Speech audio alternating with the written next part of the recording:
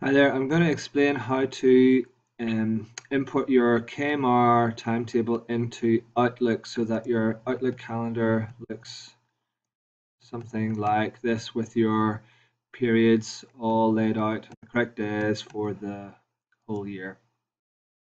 And um, if we start with Kamar, you're looking for Event Planner. I have a shortcut here. If it's not on your shortcut bar, if you go to Navigate in the top left, scroll down to the bottom, event planner is right here. And what we're looking for is to make sure that the teacher icon here is highlighted in green, shush dog. Um, you're going to press the export button just below here.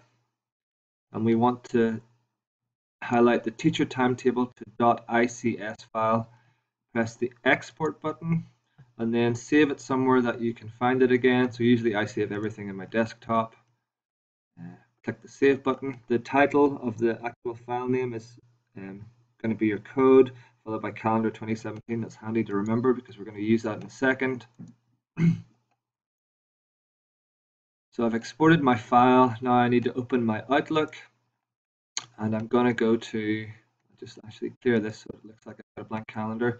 I'm going to go to File, which is in the top left hand corner over here, and then I'm going to click the Open and Export um, tab again, the top left.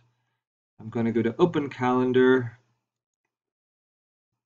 and then I'm going to search for my file. It's actually right there, but if I put in what I am looking for, so it's the FEP calendar 2017.ics.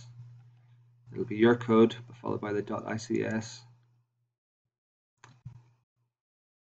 So Outlook's importing it, and it's imported it here.